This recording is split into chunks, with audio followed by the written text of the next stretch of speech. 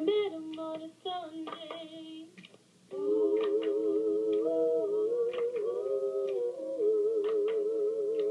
I missed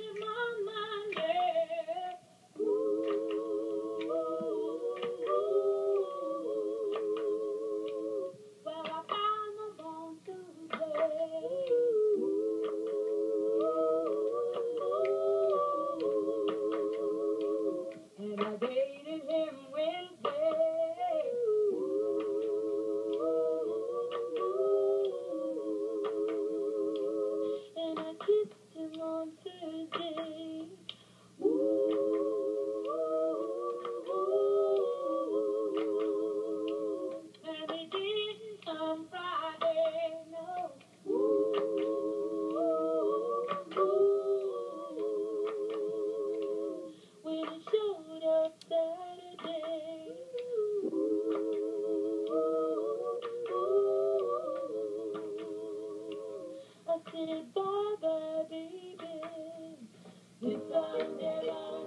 Uh, Mr. Barnes, Yes, Mr. Interlocutor. uh, could you tell me what Gertrude Stein's last words to Alice B. Toklas were?